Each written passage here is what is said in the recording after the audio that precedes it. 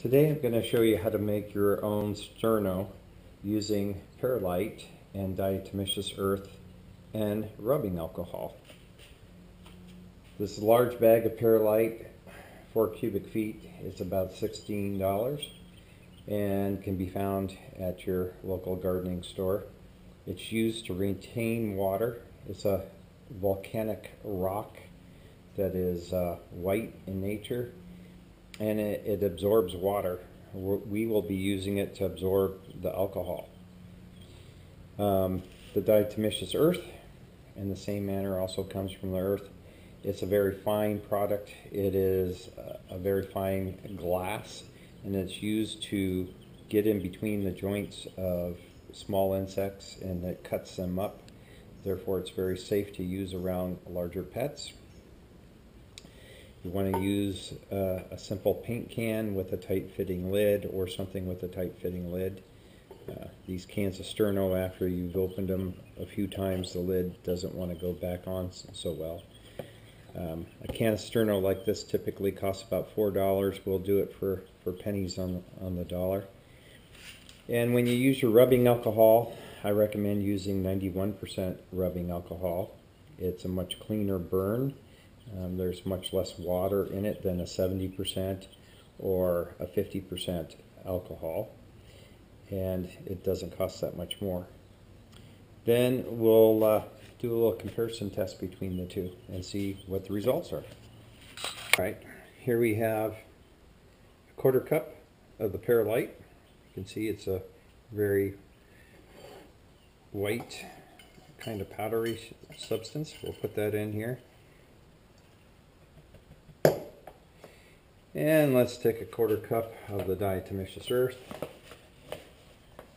I don't think it has to be exact. And you can see that's very, almost like a pumice.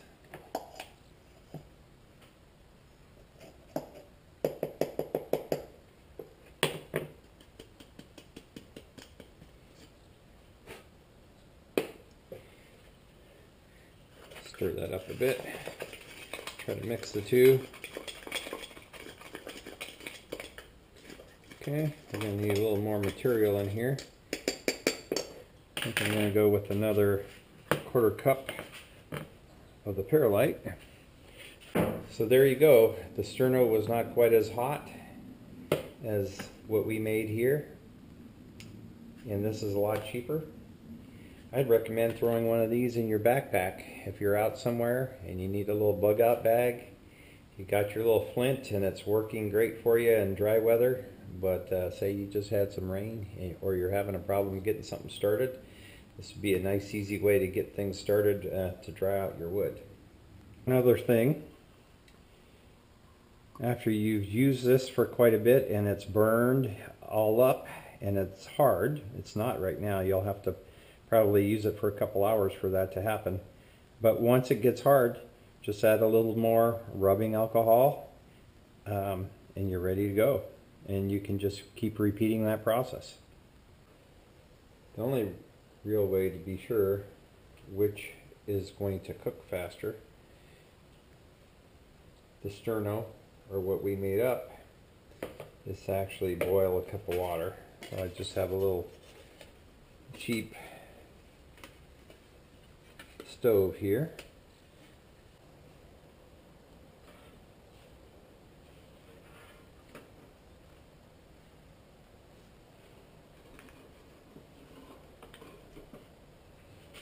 All right, we got the stove running. Put a cup of water in there.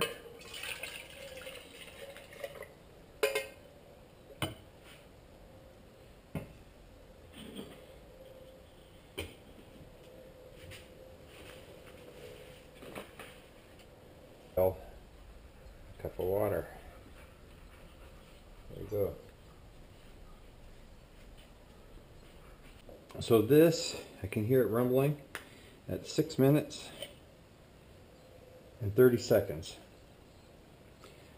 6 minutes and 30 seconds for the can of Sterno.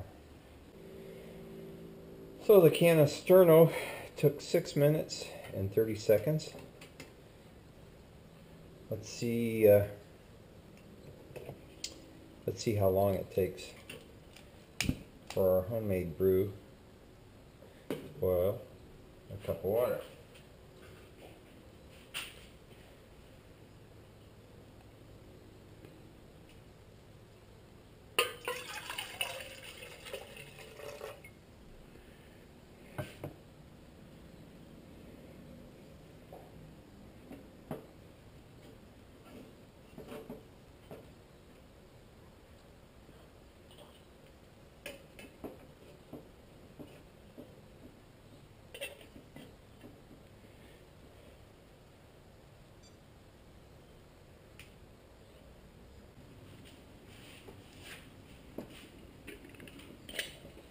Okay, four and a half minutes this started boiling.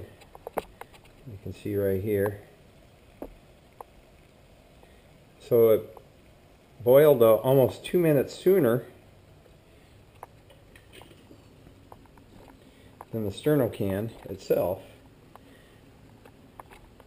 But interestingly enough, it didn't burn quite as clean. You can see a little more black soot around the, the edge. It didn't burn quite as clear although that's not as ter terribly important to me as how quickly it actually burns.